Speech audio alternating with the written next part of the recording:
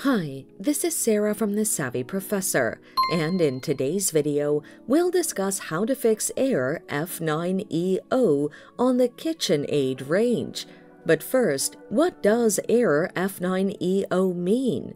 Error code F9E0 on a KitchenAid range is a power-related failure, often caused by poor electrical connection of the appliance to the power supply.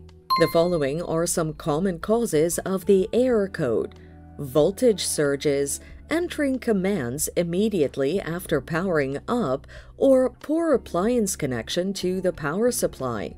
Now, let's look at the best solutions to fix the error. Install the range correctly. Ensure the supply cable is connected correctly at the power outlet and on the terminal block on the appliance. Ensure the strain relief is secured tightly against the supply cord and the wires color match their terminals. Tighten the hex nuts on the terminal block using a hollow shaft nut drive. Power cycle the appliance.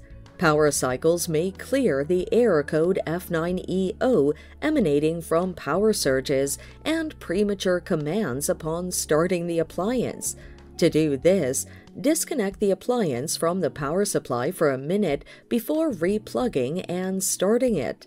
Disconnect the appliance from the power supply in case of power surges and outages to avoid related errors.